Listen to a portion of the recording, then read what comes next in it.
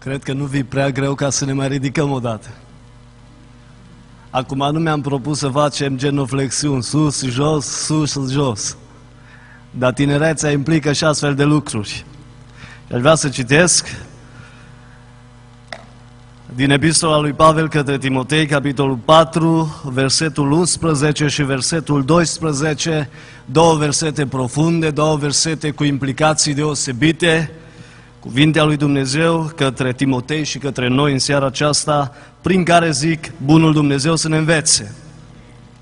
Pagina în Biblie 1166, 1 Timotei, capitolul 4, versetul 11. Poruncește și învață aceste lucruri. Nimeni să nu-ți disprețuiască tinerețea, ci fie o pildă pentru credincioși în vorbire, în purtare, în dragoste, în credință, în curăție. Amin.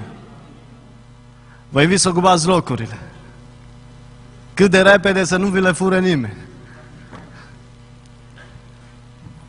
Așa după cum ați auzit, sunt în seara aceasta cu voi, mă bucur să revăd poarta cerului, mă bucur să văd tineri care uh, vin frecvent, se întâlnesc unii cu alții și în mod special vă întâlniți aici cu Domnul nostru Isus Hristos. Amin, așa -i? Părtășia cu Domnul este cea mai frumos. Cineva spunea, zice, când mă întâlnesc prieteni, ce când mă întâlnesc la școală, în stradă, oriunde ar fi, cu prietenii, zice, cu cei mai buni este extraordinar. Dar când te întâlnești cu prietenul prietenilor, cu Dumnezeu, nu poate să fie extraordinar. N-am venit în seara aceasta cu gândul aici să predic. Mâine am toată ziua la dispoziție să tot predic. Acolo unde Dumnezeu a rânduit pentru ziua care urmează. Am venit aici să mă bucur cu voi, mie îmi place la poarta cerului, dar îmi place și dincolo de poartă, să ajute Domnul să intrăm într-o zi, să-L vedem pe El, Marele Împărat al nostru, de El are nevoie orice viață și conștiința mea și a ta în seara aceasta. Aș cataloga generația tânără, generația mea, generația noastră în care trăim, o generație de capul ei fără cap. Asta e problema societății, problema generației tinere. Am stat de vorbă cu un tânăr nepocăit și zice, dacă suferă de ceva, generația noastră suferă de irresponsabilitate. O generație superficială și irresponsabilă. Pavel a zis lui Timotei, grijă mare Timotei, grijă mare, nimeni să nu te acuze. Nimeni să nu atenteze asupra identității tale, să te disprețuiască și să spună ceva ocărător despre tine.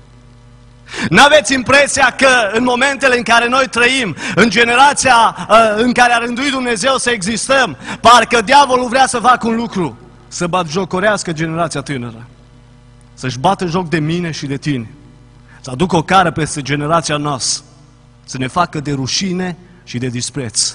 Și forma cea mai acută și mai accentuată să stârnească în generația noastră o formă accentuată de irresponsabilitate. O generație irresponsabilă și în seara aceasta mesajul care mi l-am adus aminte, sunt aici în scaunul bisericii, pe bancă, la slujbă, la închinare, a fost mesajul acesta, tânărul responsabil într-o lume irresponsabilă. Ce ziceți? Avem nevoie de responsabilitate? Avem? Păi dacă te trezești în fiecare dimineață somnoros, nici nu te duci bine la baie să te speli pe ochi și zici, mamă, nu vrei să faci tu și în dimineața asta patul? Zice, eu mă grăbesc. Și așa e azi, așa e mâine și tot mai ta să-ți facă patul și să mi-l fac. E irresponsabilitate, nu? S-a întors un tânăr odată acasă într-o seară fericit. Domnule, fericit de numai numai. Să uită tatălui așa în ochi și zice, mă, nu te-am mai văzut niciodată așa de fericit. Tată zice, Vreau să-ți dau vestea cea mare. Nu care o fi asta, ce măsori. Cu cine? Ce știi fata aceea din cutare localitate? Bine, zice. Te iubește fata aceea. Auzi, tată, zice, nu-i treaba ta, e treaba ei. Bun, dar eu te-am crescut ani de zile, zice, tu o iubești pe fata respectivă, e sigur de lucrul acesta. Tată, zice, tânărul ăsta al nostru o zice, nu-i treaba ta, zice, e treaba mea. Ei, bine, zice tatăl, dar dacă o să te însori, unde o să stați? Nu vezi, tată, zice, asta e treaba ta.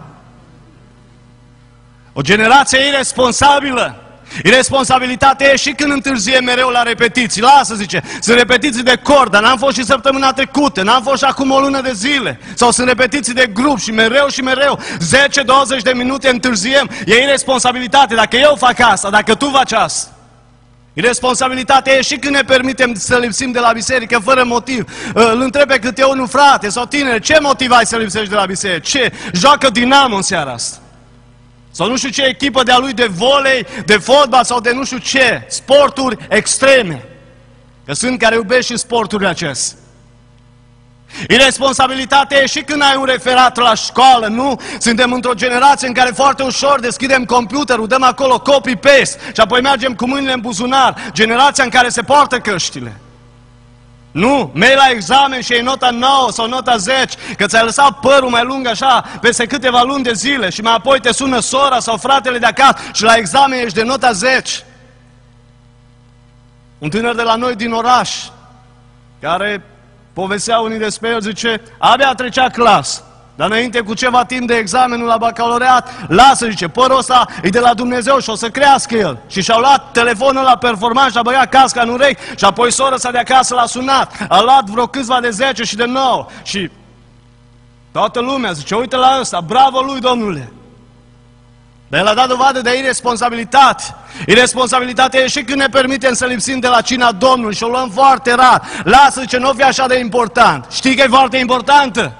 E momentul cel mai intim, cel mai profund, în care eu stau, dacă vreți, față în față cu Hristos. Mi-aduc aminte cel mai profund de jertfa din Golgota, la cina Domnului, când eu, dacă vreți, trăiesc un moment de intimitate maximă cu Domnul care a venit să mă răscumbere. Dar lasă, zice, ce e așa important?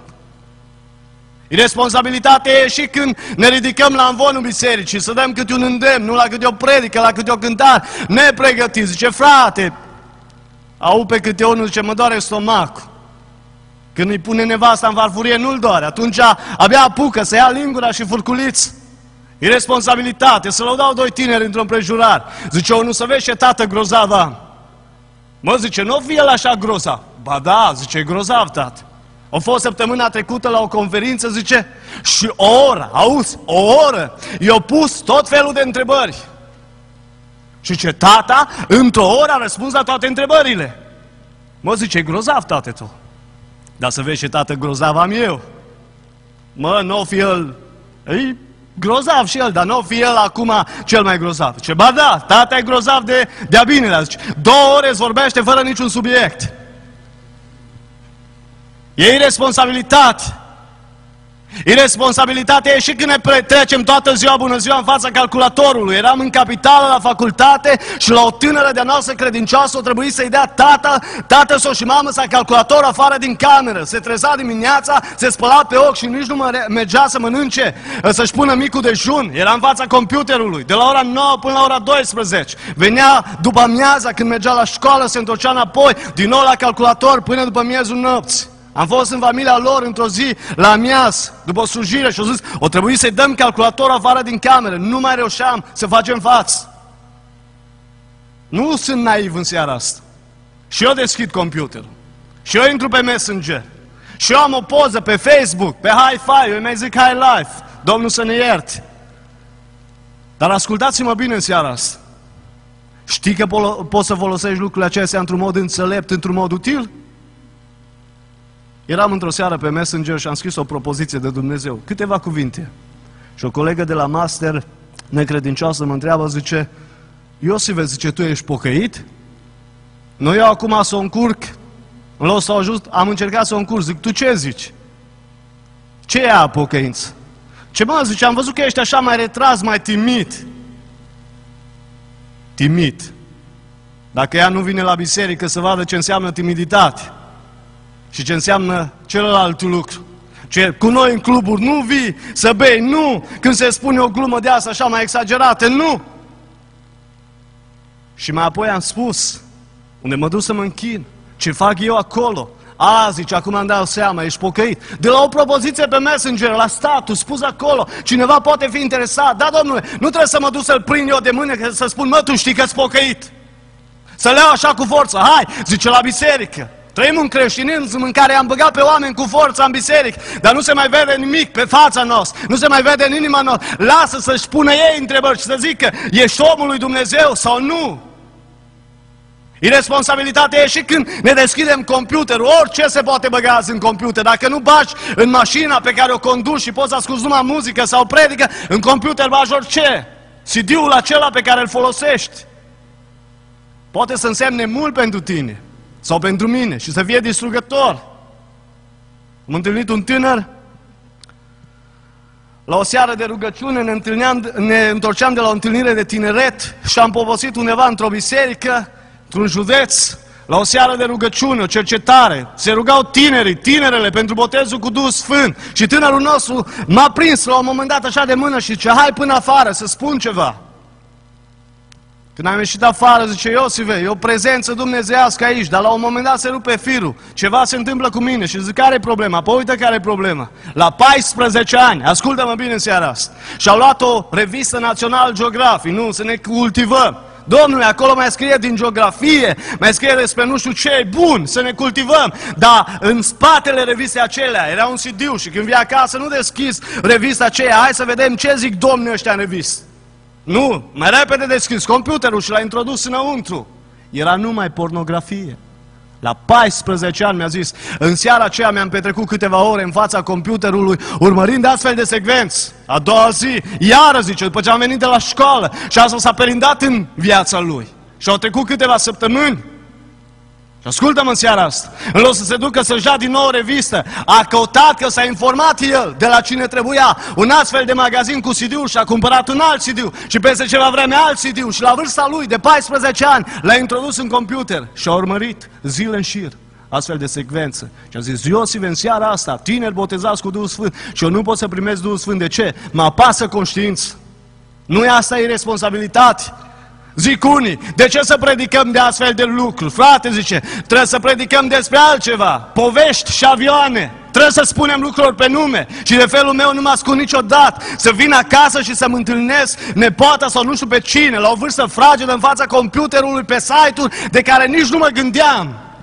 Și apoi să nu predicăm de la învoanele bisericilor, să nu spunem adevărul. Trebuie spus adevărul generației noastre, că altfel suntem, cum am zis la început, o generație de capul nostru fără cap, adică fără Hristos. Venim, ne așezăm pe banca bisericii, totul este frumos. Melodia e după ureche, e frumoasă, e mai nu știu cum, predica e mai nu știu cum, mergem acasă. Cum a fost la biserică? Cum a fost și în seara asta?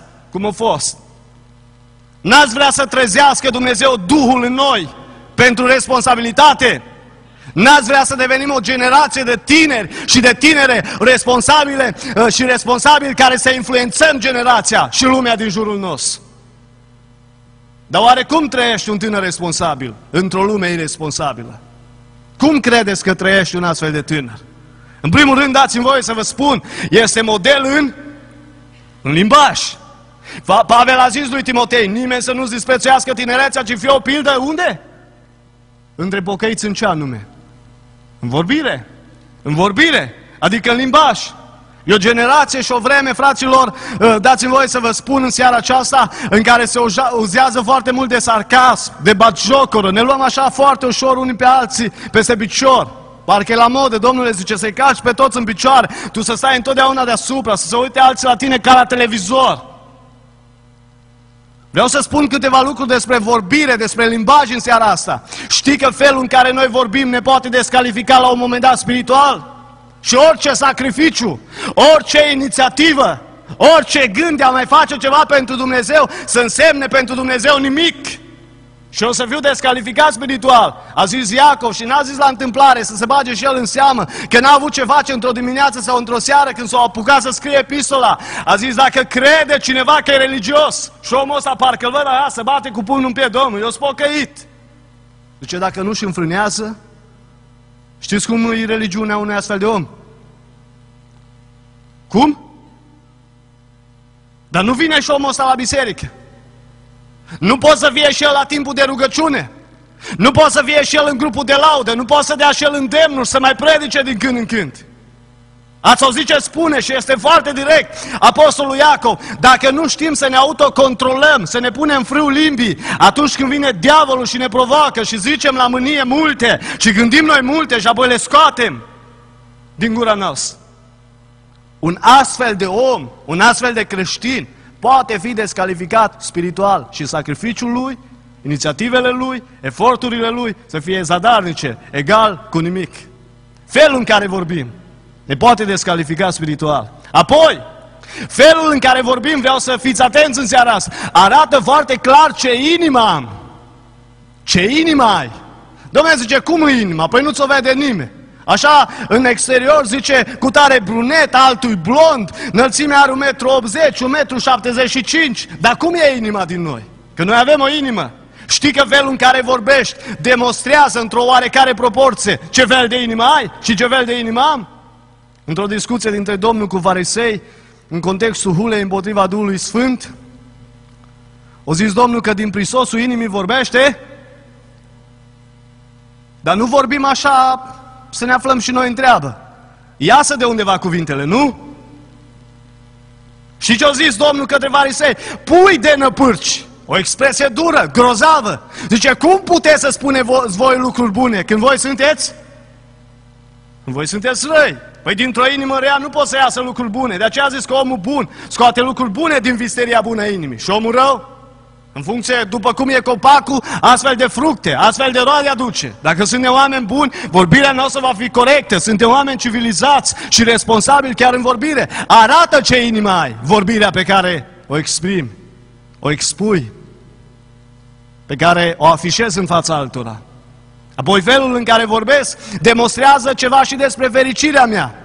Trăim o generație în care toți, cu capul plecat, bine că s-a trezit cineva în istorie să zică capul plecat să avea nu-l taie. Și de atunci toți pocăiții, cu capul plecat, domnule, parcă, cum citeam ieri despre unul, din America, zice că merea așa pe stradă și o bagnotă de 5 dolari așa o bătea vântul înaintea lui și s-a grăbit omul și a pus mâna pe bagnota ce au luat. De atunci înainte, 30 de ani de zile, numai cu capul în pământ. Și-au câștigat un caracter posac, nu mai vedea nici stelele, nici soarele dimineața, nu mai vedea nici copacii, nici fructele, nici florile. Zice că a mai reușit să strângă în 30 de ani vreo 70 de dolari, fel și fel de bagnote și vreo 39 de mii și nu știu cât de alte obiecte, ace, insigne și mai știu eu ce. Iată, 30 de ani. Și-au petrecut în felul acesta. Generația noastră parcă nu mai suntem fericiți, nu știm să ne bucurăm în cântar. Rugăciunea e cum e. Dragi tineri, dați-mi voie să vă spun deschis în seara aceasta. Noi trebuie să ne rugăm cu adevărat lui Dumnezeu. Când se roagă biserica, când se roagă generația tânără, când mă rog eu și tu, se va trezi Biserica lui Hristos.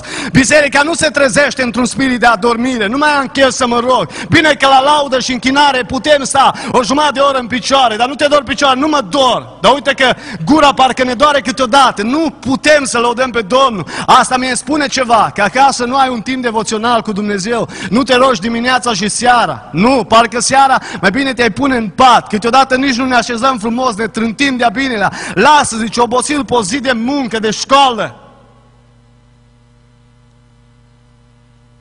Hai să iau un exemplu banal ce vine în minte.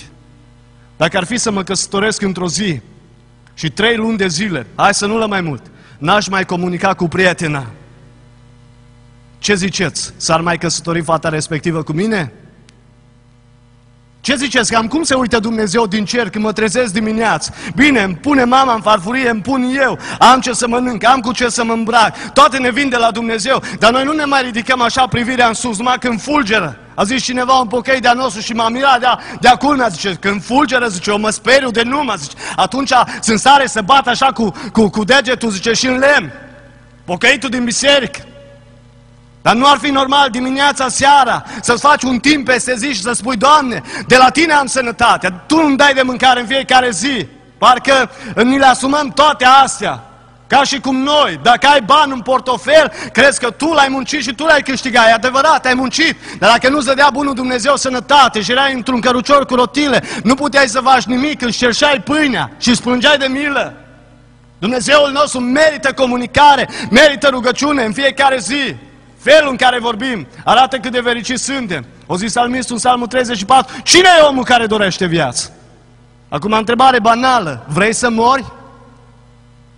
E vreau unul care s-a hotărât din seara asta să o încheie cu viața, nu să-și pună capă, să zică, Doamne, nu mai vreau să trăiesc. Că au fost vreo câțiva în Scriptură.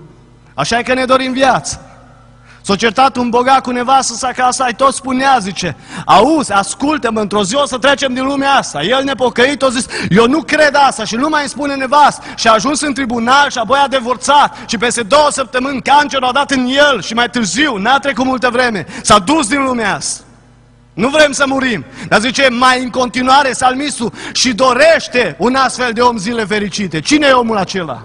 Auzi, nu o secundă, nu o jumătate de zi, nu o seară de închinare la biserică, zile de fericire. Și zice, omul ăsta își ferește limba de rău și buzele de cuvinte înșelătoare. Știi că ești fericit dacă înveți un limbaj adecvat, un limbaj onorabil, ă, cu respect, cu politețe, un limbaj de om responsabil. Fericirea atârnă și de felul în care noi vorbim. Așadar, un tânăr responsabil în limbaj, în al doilea rând în seara asta, ascultați ce zice Apostolul Pavel, nimeni să nu-ți disprețuiască tinerețea, fi o pildă pentru credincioși. M-am tot gândit, de ce pentru pocăiți?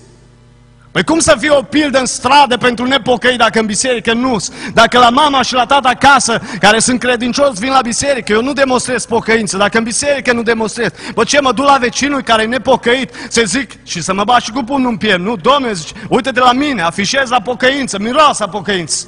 Nu, așa ceva nu se întâmplă niciodată. Zice Pavel aici, în al doilea rând, zice, fie o pildă în purtare. Știți cu ce are de-a face purtarea? Purtarea are de-a face cu comportamentul nostru. Cu comportamentul nostru, un tânăr responsabil este model și în comportament, în felul în care noi ne comportăm. E drept, mai cădem, mai avem alunecări, dar noi nu trebuie să rămânem acolo jos. Noi avem spiritul acesta uh, și inițiativa asta trebuie să fie noi de la Dumnezeu. Când am căzut, am alunecat să ne ridicăm din nou. De aceea e Hristos puternic. El vrea să fie puternic în viața ta și în viața mea. Nu! El nu ne-a creat pentru o lume în care să stăm în praful țărânei și să ne plângem de milă și să nu ne mai ridicăm. El ne-a creat pentru speranță și eternitate. Model în comportament. Model în comportament înseamnă și să nu vin la închinare să mă îmbrac oricum. O, oh, zice iară în seara asta, iară, îmi spune de haine, de vestimentați. Nu mi-am propus asta. Nu sunt la casa de modă să vin să spun cât de lungă să fie fusta, cât de largi sau de strâmte să fie hainele. Nici nu mi-am propus și nu-mi place asta, dar ascultați-mă, un tânăr și o tânără pocăit și pocăită e responsabil și în felul în care se îmbracă. Nu poți să vii oricum înaintea lui Dumnezeu. Mă, cum înțelegem noi când trebuie să mergem la interviuri, și ascultați-mă bine, când trebuie să mergi la un interviu pentru o firmă, nu te duci oricum. Când mergi ca tânăr să te întâlnești cu prietena, nu te duci oricum. Dar când venim în prezența lui Dumnezeu, parcă ne-am obișnuit cu Dumnezeu. Mame, Dumne, noi avem de-a face cu scaunul din biserică, ne mai uităm la un frate, la altul, cine știe? O zis unul către mine într-o zi, Iosive, nu te-ai întrebat niciodată, o mai fi Dumnezeu prin biserica noastră?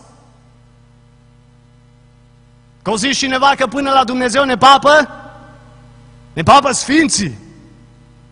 Și trăim o astfel de teorie de multe ori. Dați-mi voie să vă spun uneți doi sau trei numele lui, el e acolo. Nu trebuie să-l vezi pe o bancă a bisericii, să-l vezi așa printre rânduri, cum unii încearcă să inducă în eroare biserici și să manipuleze ce-l vezi printre rândul cu tare. Vine aici în față, Dumnezeu e pe la spate, noi nu facem asta. Dar trebuie să ai conștiința asta că Dumnezeu este în biserică, e la închinare, e cu tine, trebuie să fie în inima ta.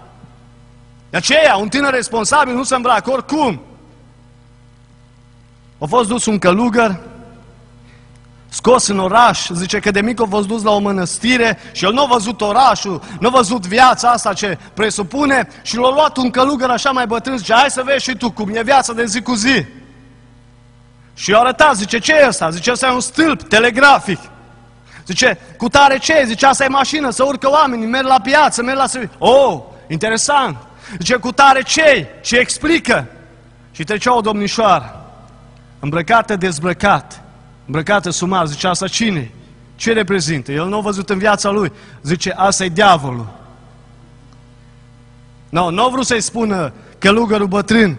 S-a întors înapoi la mănăstire și zice în felul următor, zice, nu ți-a plăcut în oraș, în lumea asta largă, ce ai văzut? Mă, zice, să știi că e interesant față de ce avem noi aici, unde stăm. Zice, dar ce ți-a plăcut mai mult? Mă zice, parcă cel mai interesant a fost diavolul.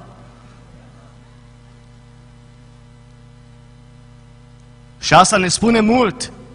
Chiar dacă tânăra nu era credincioasă.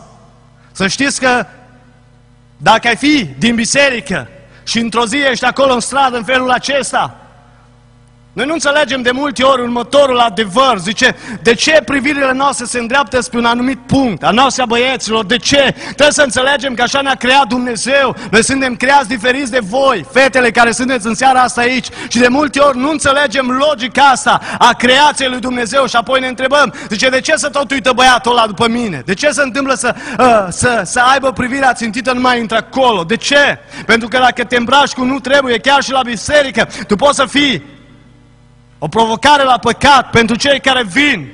Am spus unei tinere într-o seară și s-a supărat pe mine. Zic, n-are cum să crape fusta pe tine la biserică și decolteul să fie foarte adânc. Nu se poate. Și o să vin în cor sau să vin în biserică să mă închin și mai apoi să spui, a, nu te-ai rugat, ai fost cu ochii deschiși. Pe mine m-a creat Dumnezeu diferit de tine ca și tânără și trebuie să ai responsabilitate când vii la biserică. Să învățăm cu toții, și noi ca și băieți și voi, domnișoarele, cum să ne îmbrăcăm, ca Dumnezeu să fie cinstit prin toate lucrurile. Un tânăr responsabil care e model în comportament nu se uită la orice. Hai, zice, revistele astea, trebuie să citim, domnule, să ne uităm la orice. Îi văd pe câte unul, stă așa cu privirea întinsă pe ziar și zice, ce faci acolo, ce citești? Mă, zice, am citit de toate, interesante viață, dar hai să văd și oroscop. Nu, ce pot să spun horoscop? Mă, zice unul într-o zi către mine, zice, să știi că cred că au ăștia dreptate din horoscop. Nu cred în ei, dar cred că au, mă, zice, ieri mi s-a întâmplat exact. Exact așa. Și apoi intră aici, se imprimă și mai mâine, poi mâine, încep să crezi asta. Ajung și pe la doamna care leagă și dezleagă, face și reface căsătorii. Ă, doamna aceea vrăjitoare care spune despre magia ei, nu? Și încearcă să te influențeze. Nu cred, dar când ai de bai, când ajungi într-o situație ca și Saul, Dumnezeu nu i-a mai răspuns nici prin vise, nici prin proroci. Ă, parcă ai înclinația asta, hai mă du la cineva în culmea disperării. Un tânăr model în comportament nu lasă pocăința 5 minute deoparte. Vai, câți pocăiți n-am auzit. Când se nervează, domnule, temperamentul lor e de așa natură și înțeleg oare, dar se nervează așa dintr-o dată. Zice, 5 minute, las pocăința deoparte. S-a întors un copil acasă de la școală, supărat. Ce tată, așa mă enervează un coleg, zice, de nu-l articulez într-o zi, ci eu o să las 5 minute pocăința deoparte. Să uită tată la el zâmbind, zice, mă tem că n-ai ce lăsa. Ce să lași? Nu? Nu vedeți cât de șmecher e diavolul? Zice astăzi, o bere fără alcool. Mă, ce se pricepe diavolul în, în a schimba etichetele și te trezești cu bere apă fără alcool, zice, dar n-are doză de alcool în ea, zice, ă, ca și cum ai bea un Coca-Cola, dar mâine te trezești cu alta și apoi o bagi în frigider. Și de la una la alta. Și zici, mă, dar nu scrie nicăieri, doar de abuzul de alcool în Scriptură. Și începem să ne justificăm credința și teologia și suficient. Diavolul la început te acoperă cu pătura vorba cuiva și mai apoi bate în cetate din tobe. Nu, te-o văzut nepocăitul cu o bere, chiar dacă nu te-ai îmbătat tu. Dar zice, uite și la ăsta. El zice, care coloană vertebrală trăiește pentru Dumnezeu? Unde e crezul lui? Unde? Departe de realitate și de credință adevărată. Un tânăr model în comportament știe să trăiască în felul acesta. Apoi, zice Pavel aici în Timotei, să fie o pildă în dragoste. Știi cum tânăr responsabil este model și în relații? Întrebare simplă. Cu ce credeți că are dragostea mai mult de a face în Scriptură? Cu ce? Cu venitul la biserică? Hai să fim logici. Cu a căutat cea mai frumoasă cântare care să placă tuturor de la biserică? Cu o seară de tineret? Cu ce credeți care de a face dragostea în tiparul Sfintei Scripturi? Cel mai mult. Și adesea. Cu relațiile. Relația pe verticală cu Dumnezeu și relația pe orizontală unii cu alții. Chiar dacă ți-ești dușman. Chiar dacă mă zice ăsta, mi mai antipatic, nu l-am așa la inimă, nu, l-ai scoate din inimă. Fă cumva să-l bagi înapoi acolo, să poți să iubești, că fără dragoste nu o să te, nu o să-ți deschidă nimeni ușa cerului și să zică, nu vino tu, că tu nu iubești. Și trebuie aici să fie și câte unul de ăsta. În cer nu uh, introduce Dumnezeu astfel de oameni. Și un tânăr responsabil uh, este model și în relații. Ești tânără credincioasă și zici, mă, am săturat de băieți ăștia din biserică. Mă, parcă nu sunt chiar așa manierați. Zice, ăștia din lume mai nu știu cum. Chiar că nu știi. Chiar că nu știi. Săptămâna trecută eram în Viena. Și trebuie să vă spun deschis, poate frații de acolo, unii din tineri urmăresc mesajul acesta. Predicam de la învonul bisericii și am spus foarte clar, dacă ești tânără care vii la biserică, tu n-ai voie pentru o lună de zile, pentru nu știu cât, să cunoști un băiat nepocăit, să te împretenești cu el. N-ai voie. Principiul Scripturii clar. Omul ăla trebuie să se pocăiască, să vină la credință, să schimbe viața și mai apoi discutăm de astfel de lucruri. Și a fost un tânăr necredincios la biserică. Și a luat geaca așa în plină biserică, nervos, parcă-l văd. Și afară. Un frate care face misiune în pușcărie s-a dus după el și a zis, ce s-a întâmplat tinere? Păi zice, cum și-o permis predicatorul la tânăr de la învon să spună, auzi, domnule, o fată din biserică n-are ce căuta să vorbească cu un tânăr necreștin. Zice, eu dacă sunt nepocăit, de ce n-am voi? ce cu regulile la voi? Și zice, stai puțin, liniștește-te. Biblia trebuie scrie că trebuie să ne pocăim, să credem, să ne botezăm, să ne schimbăm viața, să avem principii și mai apoi. Apoi zice, eu n-am știut asta. Eu credeam că se poate, nu? Că ne-o crea Dumnezeu băiat și fete, se poate orice. Vai ce m-am gândit în ziua aceea, Doamne, mulțumesc că mi-ai dat propoziția aceea, că poate ai scutit-o pe tânăra aceea din biserică de multe necazuri. Vai ce s-ar fi putut întâmpla mai târziu. Dar cineva a zis, nu te-ai temut, că a doua zi ai ieșit să vizitezi Viena, nu te-ai temut că te întâlnește și îți trage vă câteva. Las, zic, pentru Hristos nu-i mare lucru ăsta. Dar știu că a spune adevărul, principiile esențiale lui Dumnezeu, trebuie să ne și coste. Noi vrem să venim la biserică, am impresia să ascultăm o Evanghelie diluat. Doamne, dacă se poate Evanghelia să o ascult numai cu zâmbetul pe buze, nu, sunt bune și întâmplările astea care mai strânesc interesul, ne mai deschid mintea, mai înțelegem una și alta, dar vrem o Evanghelie diluată. Dați-mi voie să spun, eu cred că generația asta are nevoie de o Evanghelie profetică.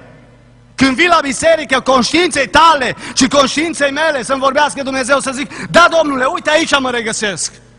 Și din seara asta, de mâine, din ziua în care ești la slujbă, să ne schimbăm atitudinea, să-mi schimb atitudinea, să zic, Dumnezeule, cu tine îmi continui drumul. Modelul în relații nu înseamnă, vin la biserică, vai ce lecție mi-a dat bunicul meu, o murit anul ăsta, dar când trăia, zice, mi-a dat o lecție într-o seară, mă duc așa să dau mâna cu el, plecam la biserică și am dat așa parcalene. Ce mă, Iosif, voi tineri, zice, nu mai învățați să fiți nici bărbați, domnule. Zice, când eram tineri și când eram la, la credință, el a fost tot timpul la credință, dar se referea la tinereț. Ne întâlneam dimineața pe stradă și seara în biserică, zice, ne îmbrățișam frații și spunem, frate, Domnul să te binecuvinteze, abia am apucat să vin la biserică. Și zice, astăzi, pace, pace. Cum ești, frate? Bine. Tu cum ești? La fel. Vai ce teologie! Zice, cum e vremea la tine? Faină, da la tine, și la mine. Și trăim o vreme și o viață de asta așa... Știți? Asta nu înseamnă a fi model în relații. Dau mâna cu cineva și mă uit în altă parte. Preocuparea mea e alta. Zice, lasă, cine intră de seară pe Facebook? Mai ai vreo 10 în list. Sau preocuparea mea e teza de mâine la matematică. Când sunt față în față cu fratele sau cu sora, eu trebuie să am o atitudine de om pocăit al lui Dumnezeu. Un gest mic poate însemna ceva. Pavel zice că și amenul care spunem este spre slava lui, lui Dumnezeu. Cineva aduce un pahar de apă și îl dă la altcineva. Doamne, zice, nu e așa. Putea să se ducă și el la izvor. Putea să-și spună și el, chiar un om bolnav, dacă îi pui o, o cante sau îi pui ceva cu apă, cu suc acolo, zice, ștoarnă el. Un lucru mic. Dar poate să însemne extraordinar de mult. Și asta înseamnă să fii model în, în relații.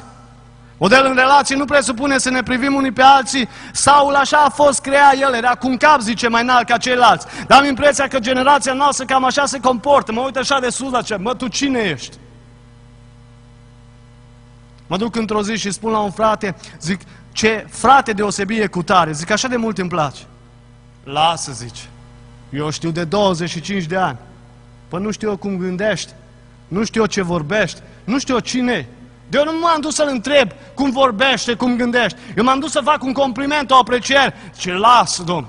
Ne uităm unii la alții, de parcă am fi la masa de ping-pong, să fim în competiție unii cu alții, să fim rivali. Dumnezeu ne-a chemat să fim prieteni, Dumnezeu ne-a chemat să fim frați, surori, să fim într-o armonie și într-o relație, așa cum ne-a creat Dumnezeu. Dar generația asta suferă mult. Și trebuie să spunem adevărul chiar de la învoanele bisericilor. Apoi, un tânăr responsabil, într-o lume irresponsabilă, este model și în credință. Cu ce credeți că are de-a face cel mai mult credința în Biblie? Hm? Ce ziceți? Eu am socotit că cu starea de spiritualitate. Știi cât de spiritual ești?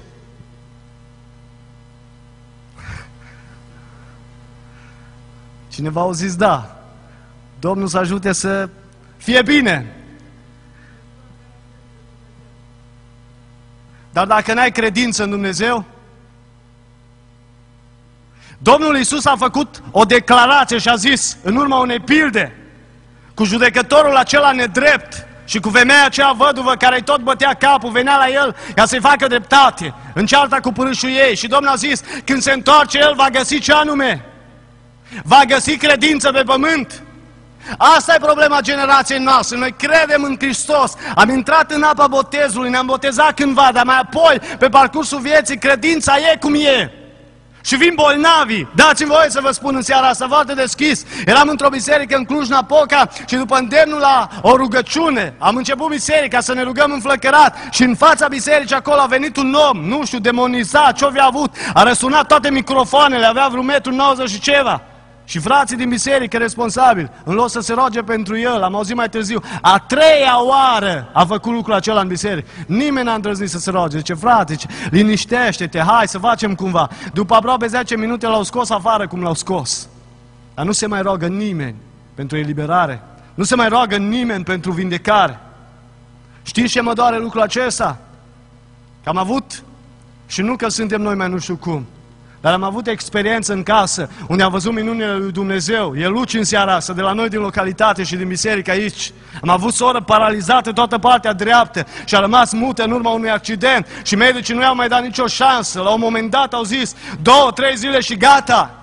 Și în urma unei rugăciuni a unui frate cu ungere și un de lemn, și în urma unei profeții date de Domnul printr-un anume frate, Sora aceasta mea s-a ridicat din Sibiu de pe partul de reanimare și astăzi umblă pe picioarele ei, astăzi poate să muncească, să gândească cu mintea ei, s-a căsătorit, are și un copil.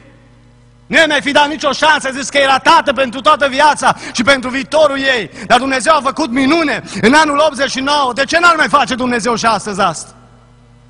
Nu vreți să se trezească generația noastră să credem real în Hristos? Frate, zice, te rogi pentru cei bolnavi. Dar cum te rogi? Zice, mă rog să se facă voia Domnului, că voia Domnului e cea mai bună. E adevărat. Dar cum citim noi în epistola lui Iacov, capitolul 5? Știți că există o poruncă să ne rugăm pentru vindecare? Zice, rugați-vă unii pentru alții ca să fiți dar de ce nu o să Iacob? Fraților, când vă rugați pentru bolnav, rugați-vă să se facă voia Domnului. Știi care e voia Domnului? În contextul acela din Iacov să se facă mărturisirea păcatelor, să nu fie omul cu pricina sau cel care se roagă într-o stare de păcat. Să se roage omul cu credință în Dumnezeu, să fie neprihănit și rugăciunea să fie pe fierbinte și porunca Scripturii clară. Rugați-vă unii pentru alții ca să fiți vindecați. Acum întrebare, dacă nu se vindecă omul? Sora, fratele, tânărul, dacă nu se vindecă? Ce faci? Și luăm justificări, ca și cazul lui Pavel din Corinteni, zice că s-a rugat Domnul să iață pușul și zice că Domnul a zis, harul meu zi de ajuns. Și începem să teologizăm și să spunem, vezi, și Pavel a fost bolnav, a avut o problemă. Vă spun ceva în seara asta. Am avut de făcut la teologie vindecarea în Sfintele Scripturi. Și am vrut să iau cazul ăsta lui Pavel. Și câțiva profesori m-au atenționat, zice, fii mai atent, studiază mai adânc. Ia cartea cu tare, studiază, fii atent, nu te grăbi. Adevărat că în Galaten spune altceva despre contextul care, în care se afla el, despre problema din trupul lui. Dar ne aruncăm foarte repede să spunem lucrurile. Și dacă o zis Dumnezeu, harul meu zi de ajuns, atunci și noi ne rugăm. Voia ta să se facă, Doamne, dacă vrei să vindești bine, dacă nu, nu. Și am învățat o lecție. Când cineva e bolnav, porunca Scripturii e ca eu să am o stare după voia lui Dumnezeu. Asta contează, starea după voia lui Dumnezeu. Și mă rog cu credință pentru vindecare. Mă rog azi, mă rog mâine, mă rog peste un an, mă rog peste cinci ani și dacă nu se vindecă, nu-i problema mea. Problema e la Dumnezeu, El hotărăște cum va fi. Dar eu nu trebuie să încetez să mă rog. Ne-am obișnuit cu un creștinism ieftin și trebuie să o spun deschis. Asta am crezut și eu de multe ori. Ne rugăm pentru bolnav. Doamne, facă-se voia Ta. Voia lui Dumnezeu ne-a lăsat-o prin gura lui Iacov. E poruncă. Rugați-vă unii pentru alții ca să fiți vindecați. N-ați vrea să fii model în credință? Dacă n-ai credință din Dumnezeu în tine, nu e spiritual. Lasă, zice, dau bani la colectă, foarte bine, e un lucru necesar. Lasă, zice, vin și cânt aici în față. Nu vin eu la repetiții la cor, foarte bine. Lasă, zice, mai predic, mă duc și în misiune extraordinar. Dar cum e credința în Dumnezeu? Murmură credința, tremură credința. Câteodată stai așa în cumpănă și zici, mai am sau nu am credință în Dumnezeu? Trebuie să citesc despre un predicator, 30 de ani o predica la alții. Și după 30 de ani l-a zguduit Dumnezeu într-o seară și a zis, nu știu dacă eu am o credință de 100% în Dumnezeu. Și s-au întors alții la Dumnezeu prin predicile Lui. Și s-au dus și au vestit Evanghelia la mulțimi mari. Și oamenii ziceau, ce orator, ce ne... Omul ăsta zice, e o mare plăcere să-l asculți. Uite, domnule, se strânge lume multă. Și alții s-au mântuit. Și el, după 30 de ani, avea semne mari de întrebare cu privire la credința lui. Trebuie să avem o credință în inimă. Când vine Hristos, asta caută. Mai ai credință în El? Nu știi ce vremuri o să vină. Hai să te întreb ceva în această seară. Dacă într-o zi ai să fii chemat la poliție, presupunem, și pe masa aceea unde te duci ar fi o hârtie venită de la guvern, la toate posturile de poliție, și acolo ar scrie ceva de felul următor. Începând de astăzi, trebuie să-i acceptați pe homosexual între voi. Începând de astăzi, ar trebui să faceți parte la toate slujbele. Dacă e vorba de cină, să ia parte la cină. Dacă vor să vină să cânte în față, bărbat cu bărbat, să vină în față. Dacă trebuie să-i cununați, așa să faceți. Dacă ar scrie acolo mai jos, de azi înainte să nu se mai predice de adulter, de azi înainte să nu se mai predice de pornografie, de azi înainte interzicem disciplina în biserică, nu mai e voie să pui pe nimeni deoparte. Și ți-ar spune doar două variante. Ori accepti asta și e bine de tine, de casa și de biserica ta, sau ți-ar spune, cine nu vrea asta și nu se conformează, 15 ani de pușcărie, ce ai face tu? Știi că sunt țări în care astfel de legi s-au aprobat și știi că sunt păstori de-a noștri care astăzi sunt după gratii, că și-au permis să spună adevărul adevăr. Și cineva din înaltă autoritate a unui stat a zis, omul ăsta trebuie să fie în pușcărie. Și atunci se va dovedi credința mea și credința multora. Vai ce cernere va fi în ziua aceea! Discutam azi cu cineva și am zis, eu cred că 60-70% din pocăiții, cu ghilimele din ziua de azi, care fac pocăința de rușine, se vor duce. Și am avut întrebare cu privire la mine. Nu vreau să te acuz pe tine în seara asta. Și am zis, Doamne, dacă nu-mi dai Tu putere și credință, o să mă duc și eu cu ei, dacă vin zilele acelea. Și nu-ți departe de noi. Pentru că lumea în care trăim demonstrează și prevestește că astfel de evenimente dinspre Occident vin spre noi și vor ataca biserica și vor ataca familia și vor ataca credința noastră. Și te întreabă Domnul în această seară, ce model ești și sunt în spiritualitate? Apoi ultimul lucru, deja este 8 fără 10, nimeni să nu-ți disprețuiască tinerețea, ci fie o pildă în curăție. Curăție înseamnă model în puritate, model în castitate. Dumnezeu m-a creat ca până în momentul în care mă căsătoresc și te căsătorești, să fiu un creștin care trăiește în curăție. Și am găsit în Biblie că trebuie să ai cugetul, adică conștiința curat. Trebuie să ai inima curată și am găsit pocăiți în Biblie, în fapte, în capitolul 2, care chiar și hrana, mâncarea o luau cu curăție de inimă. Și am stat și m-am întrebat, Doamne, când m-am pus eu ultima dată în fața mesei și a varvuriei, încărcate cu mâncare, să mă întreb, am inima curată? Că zice Pavel în Corinteni, tot ce faceți, fie că mâncați, fie că faceți altceva, să faceți spre slava lui Dumnezeu. Și mi-am pus zilele astea o întrebare, când am mâncat eu ultima dată spre slava lui Dumnezeu? Și cu o atitudine și cu o inimă în curăție. Așa e că pare ceva care ne depășește. Am citit în Biblie că trebuie să ai trupul și trebuie să am trupul curat, trebuie să avem haine curate. Înaintea lui Dumnezeu în evrei spune autorul acolo să vii cu o inimă curată, cu un cuget bun și cu trupul spălat. Și trăim oameni, nu mă refer aici, dar am întâlnit creștini la sat. Domnule, zice, trebuie să fii smerit, se poate să vii din grajd. Lasă, zice, cum altul miroasa nu știu ce, zice, miros și eu, că pocăința nu se nasc. Ba da, trebuie să fim oameni civilizați mai întâi. Și apoi se pune în discuție pocăința și creștinătatea noastră. O pildă în curăție. Ai trupul curat în seara asta. Din toate punctele de vedere. Nu doar din punctul de vedere al igienei. Ai conștiința curată? Ai inima curată înaintea lui Dumnezeu? Știi că așa trebuie să vii la biserică? Zice, dacă te apropii de Dumnezeu, să te apropii cu o inimă curată. Și-o zis înțeleptul, păzește-ți piciorul când intri. Doamne, zice, da, încălțămintea ai dată bine, cu cremă. Doamne, zice, sunt îmbrăcat bine. Doamne, zice, nu m-am piedecat nimeni pe stradă, n-am căzut, nu șchiopătesc, dar păzește-ți piciorul. Nu doar conștiință. Asta înseamnă că și trupul trebuie să ne-l păzim când venim aici. E important să fim curați din toate punctele de vedere înaintea lui Dumnezeu. Ce ziceți, da sau nu? Știi ce spune spiritul societății? Dacă vrei să mai fii integrată ca și tânăr într-un grup, sau ca și tânăr, și să nu te respingă colegii de școală și de muncă și cei din biserică, trebuie să devii ca majoritatea, conformează-te, asta spune vocea societății. Trebuie să fii ca ceilalți. Iar Hristos în Biblie spune un singur lucru, tu trebuie să fii un sfânt și o sfântă. Dacă majoritatea nu sunt așa și au alte concepții despre lume și viață și principiile lor diferă de ale tale, în mintea ta trebuie să rămână acest adevăr, curat trebuie să trăiesc înaintea lui Dumnezeu. Dar ce se întâmplă dacă mai cat? Mă aluneci și în conștiința ta și a mea intră uneori gunoaie. Cu ghilimele de, de rigoare spun în seara asta. Pocăiește-te de orice fapt. Dumnezeu mă cheamă să-mi schimb viața și să iau decizii pentru El. Trebuie să ne dea exemple, dragi tineri, vedetele lumii. Oameni la care se uită alții și ce uită Domnule, ăsta e vedetă.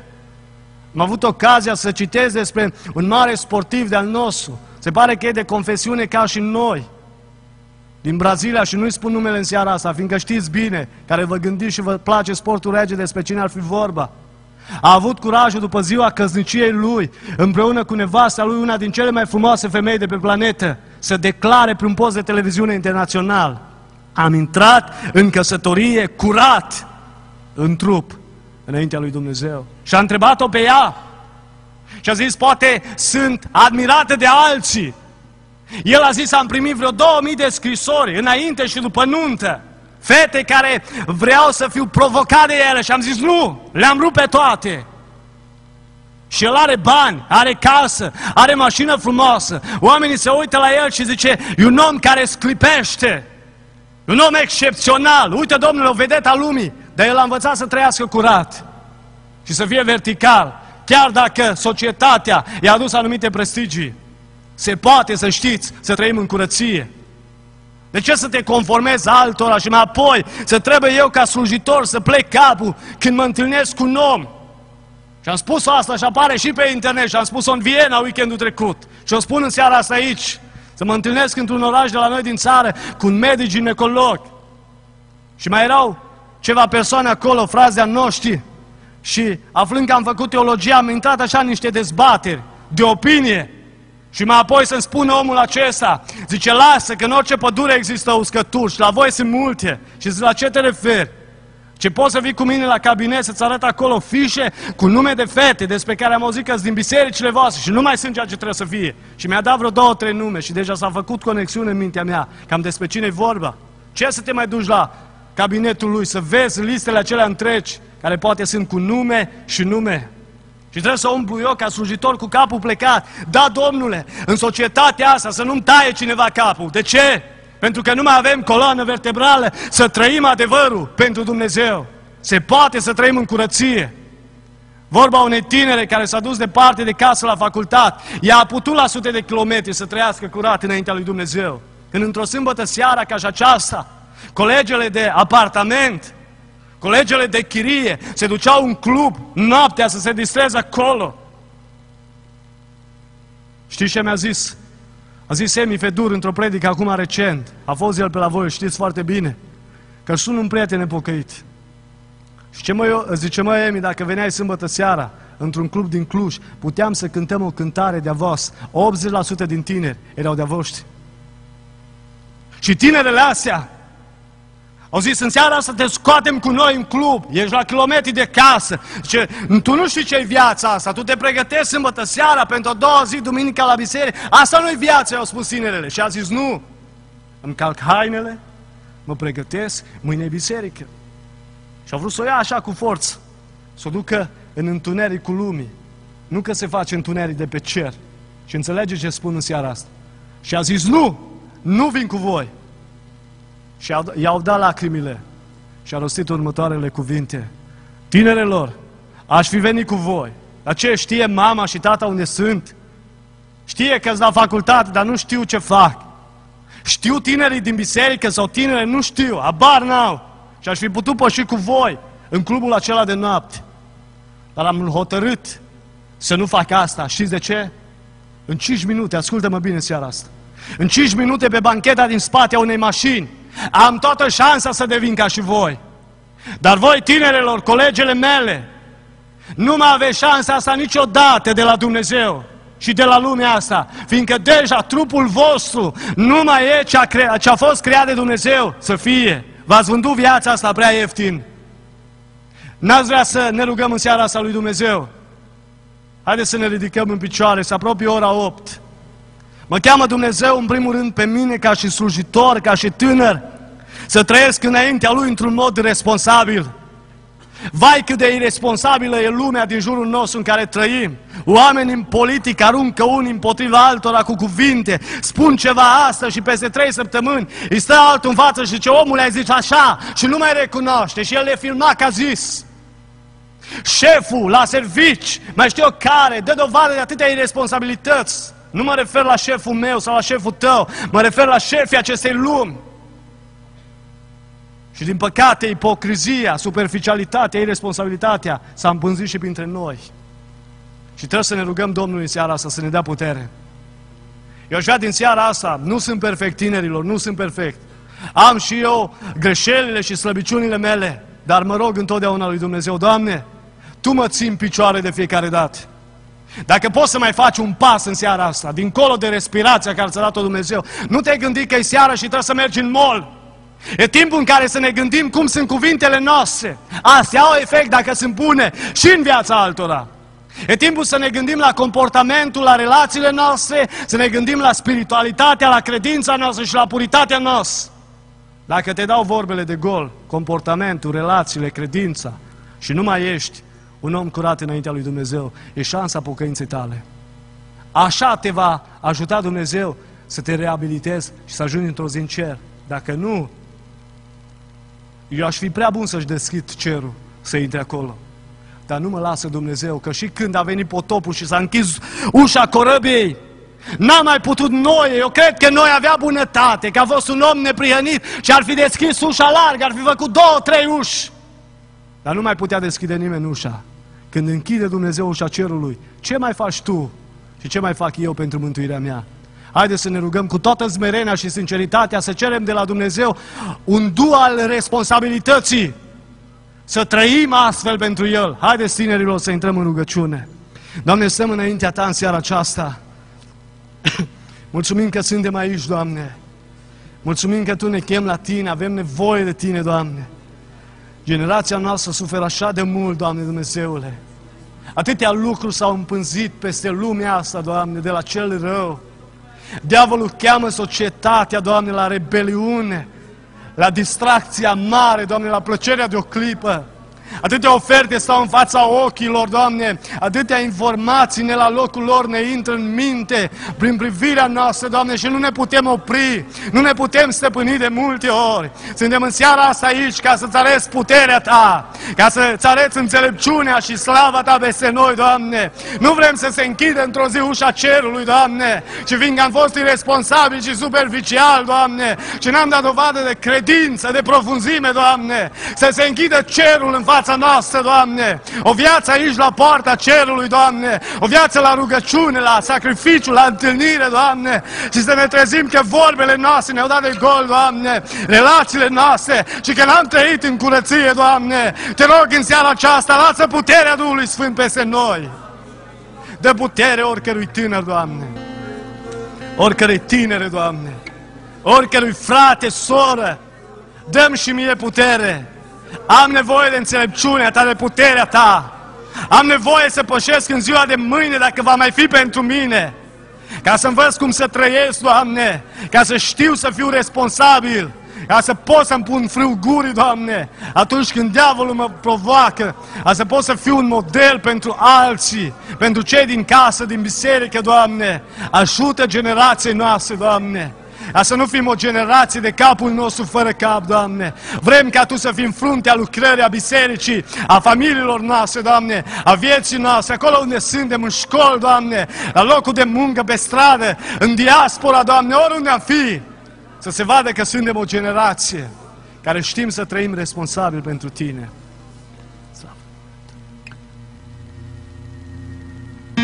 Haideți să cântăm o cântare din toată inima înaintea lui Dumnezeu și să arătăm că iubim pe Domnul și că vrem să fim responsabili, că vrem să trăim viața pentru El.